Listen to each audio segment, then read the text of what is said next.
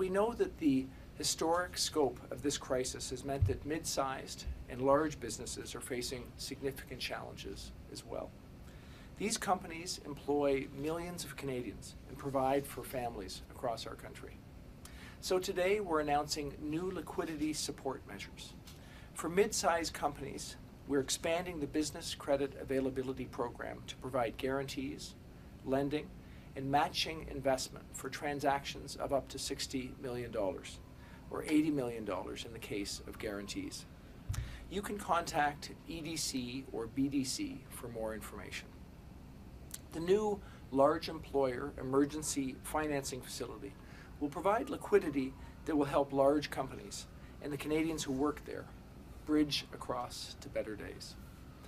What we're calling LEAF will be available to employers with around $300 million or more in annual revenues that are seeking financing of around $60 million or more and have a significant footprint in Canada.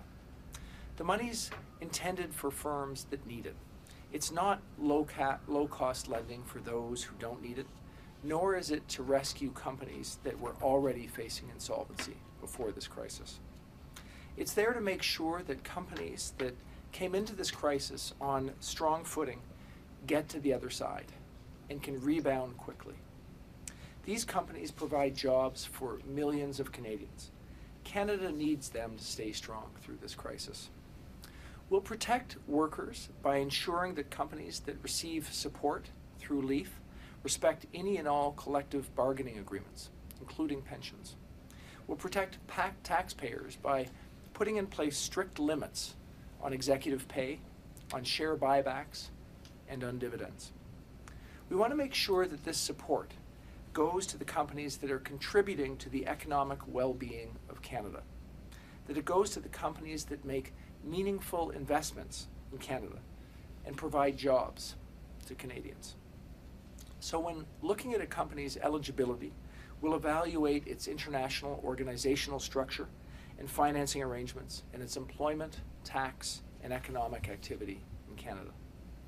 Companies that receive this funding will be required to commit to future climate disclosures and environmental sustainability goals.